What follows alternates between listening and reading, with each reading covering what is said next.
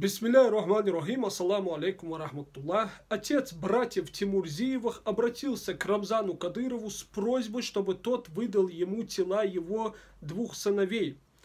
Напоминаю, что в декабре 2020 года два брата-близнеца Хасан и Хусейн Тимурзиевы напали в Грозном на ППСников с ножами напали, в ходе которого, в ходе этого нападения был убит один из ППСников, а также один из братьев. Второй же брат, будучи раненым, попал в плен кадыровцам и после этого э, в застенках кадыровских тюрем был запытан и убит впоследствии. Также тогда же были забраны, похищены тот же отец братьев Тимурзиевых, их мать и даже их 20-летняя сестра Зарета Тимурзиева. И сегодня, ну как сегодня, пару дней назад их отец обратился к Рамзану Кадырову, чтобы тот вернул, с просьбой, чтобы тот вернул тела его сыновей. Там он ссылается на то, что так требует ислам, чтобы их похоронили, там также он говорит, что если бы была его воля, то он бы никогда не позволил своим сыновьям убить кого бы то ни было, будь то мусульманина, либо не мусульманина. То есть, по сути дела, он так очень мягко, очень красиво просит Рамзана Кадырова, а, чтобы тот вернул тела его сыновей. Мы помним, как э, Рамзан Кадыров не хотел отпускать их самих, то есть э, его самого, его жену, его дочь 20-летнюю Зарету Тимурзиеву.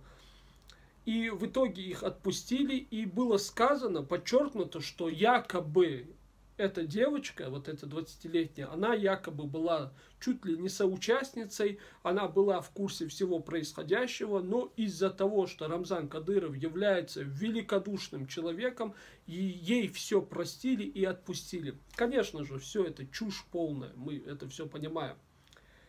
Но возвращаясь э, к просьбе отца, отца братьев Тимурзиевых, действительно, Рамзан Кадыров, почему ты не возвращаешь тела этих двух братьев? Во-первых, как я уже говорил, мы не, мы не знаем, почему они напали на этих ППСников. Вся сказка о том, что они якобы присягнули там ИГИЛ и тому подобное, все это высосано из пальца, потому что факта присяги вообще нет. Та аудиозапись, которая была, там говорится, что они, э, что один из братьев, кстати, не другой, а только один, что он он рассуждает там о жизни, о смерти, то есть такое философское. Там вообще слова нет о присяге. Вообще слова нет о присяге ИГИЛ. И та фотография, где они якобы были на фоне игиловского флага, также очень э, сильно вызывает сомнения, потому что многие увидели в этом фотомонтаж. Это было сделано только после прошествия нескольких дней, только потом они это выложили им нужно было пару дней, а, чтобы приготовить все эти монтажи, а потом выложить. Поэтому это тоже очень важный момент. У нас нет доказательств на то, что они даже были участниками этой э, ИГИЛа. А то, что ИГИЛ там берет на себя, не берет, это понятное дело. Извиняюсь за выражение, птичка где-то воздух испортит, ИГИЛ всегда на себя это берет, лишь бы казаться такой могущественной организацией. Мы это понимаем. Также нужно ответь, отметить тот момент, что террористами здесь являются э, кадыровцы. Террористами здесь является вообще российская оккупационная власть, которая похищает, убивает, э, расстреливает людей, э, фабрикует уголовные дела и так далее и тому подобное. И что касается теперь этой просьбы отца вернуть тела его сыновей – она обоснована, она полностью обоснована. Во-первых, его сыновья не террористы. Нет доказательств, что они были террористами. Но есть доказательства, что вся российская э, оккупационная система на Кавказе, она террористическая. И все кадыровцы являются экстремистами и террористами. В этом у нас есть полно доказательств. Каждый день похищают, убивают, пытают, если они не террористы, то терроризма, можно сказать, в принципе не существует. И хотелось бы обратить внимание, что в Европе, когда во Франции э, парень, чеченец, убил, э, учителя Самуэля Пати, мы помним всю эту ситуацию, Франция выдала его тело, и его похоронили в Чечне.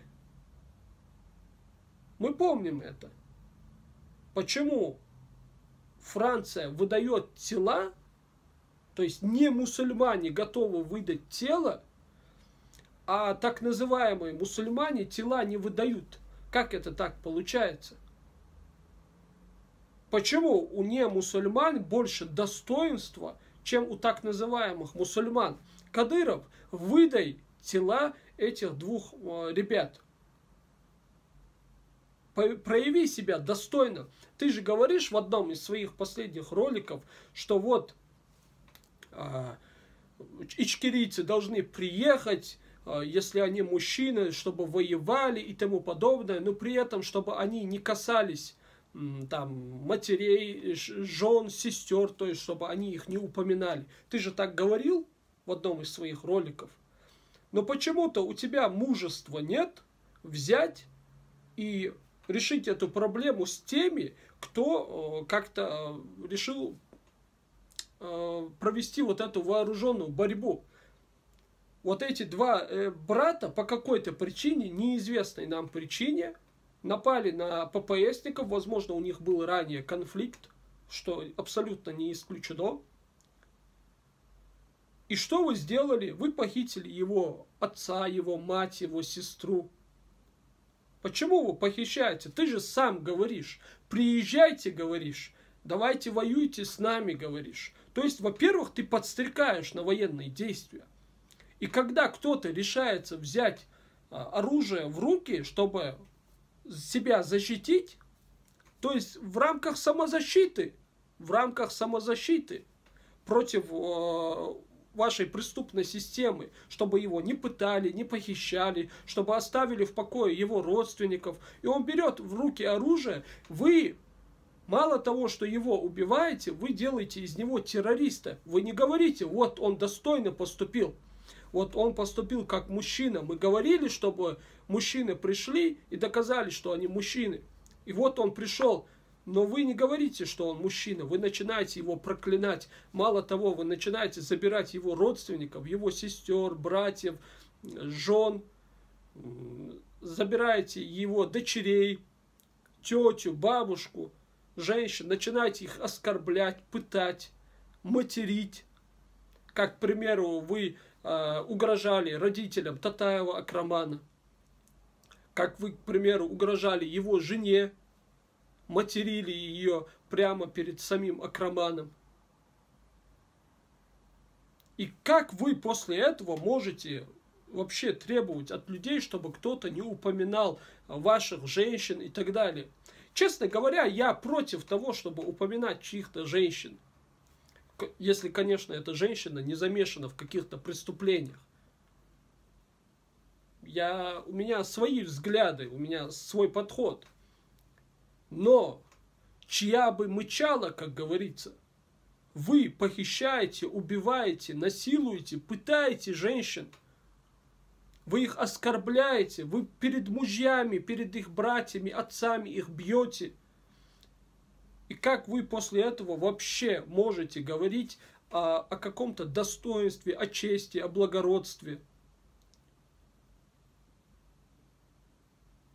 Не вам об этом говорить, Кадыров.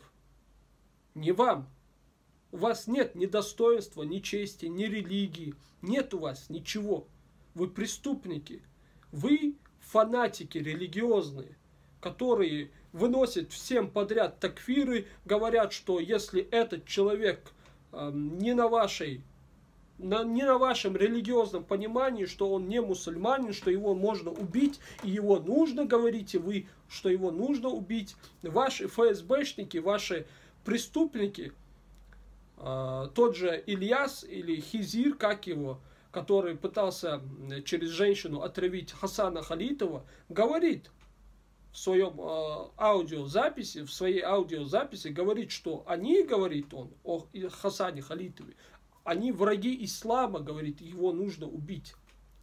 Ты, вы себе это представляете? Если я себе сегодня позволю сказать враги ислама и кого-то нужно убить, и при этом даже если я не предприму никакую попытку, меня сразу же запишут э, в террористы. Мы все это понимаем.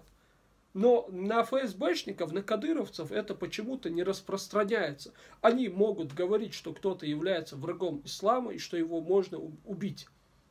И мало того, они это не только говорят, они предпринимают конкретные попытку, попытки, они предпринимают конкретные действия, направленные на осуществление своего грязного, преступного, фанатичного хариджитского плана. Вы хариджиты, вы самые, что ни на есть хариджиты, Рамзан Кадыров, и Салах Межиев, и Шахидов Адам и так далее. Вы все являетесь хариджитами, вы являетесь хариджитами. Вы преступники, вы такфиристы, вы религиозные фанатики, готовые убивать всех подряд. Вы говорите о ИГИЛ. ИГИЛ вам завидует. ИГИЛовцы вам завидуют, Рамзан Кадыров.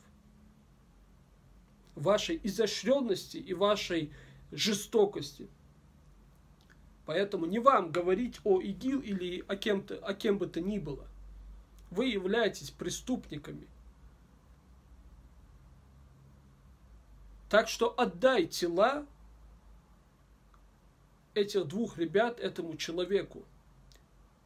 Покажи, что ты хотя бы чуть-чуть э, способен на какое-то человеческое, мужское поведение. Отдай этих ребят этому человеку. Отдай их. Ты уже все с ними уже сделал. Террористами являетесь вы, а не они. Отдай эти тела. Вассаламу алейкум ва рахматуллахи ва баракатуху.